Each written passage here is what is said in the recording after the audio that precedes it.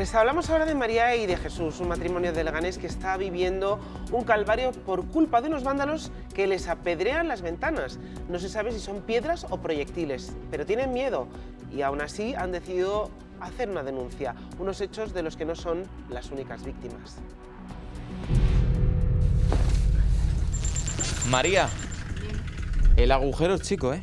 Sí, sí, pequeñito, pequeñito, fíjate. Bombas no he tenido en mi casa, pero como, como un tiro, pero, pero un bombazo. Porque mi perrito estaba echado ahí y pegó un salto horrible. ¿Qué hora era? Cuando... Las once y media De la noche. de la noche. Este era las once y media de Y la noche. dices este porque ha habido otro más. Sí, sí. Pues una semana antes estábamos todos acostados.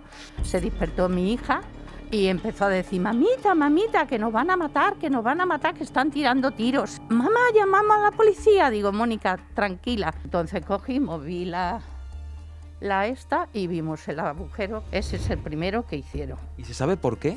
No. Pero menos mal que no ha sido a mí sola. Que ha Sí, que hay más gente que está afectada. el del cuarto. Encima de nosotros lo mismo. Jesús, todo está denunciado ante la policía. ¿Es lo que le han dicho?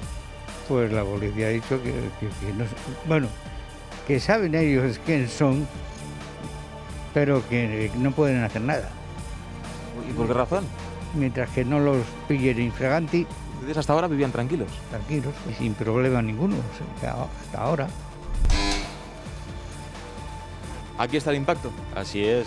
Al parecer están tirando piedras de ahí al frente o, o con una pistola de dejas de balines, no sé.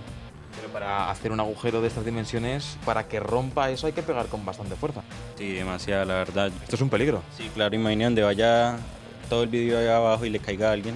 ¿Y habéis visto a alguna persona o alguien sospechoso de aquel edificio? Bajaron de allá y echaron hacia el lado de izquierdo. O sea, que usted vio cómo salieron corriendo.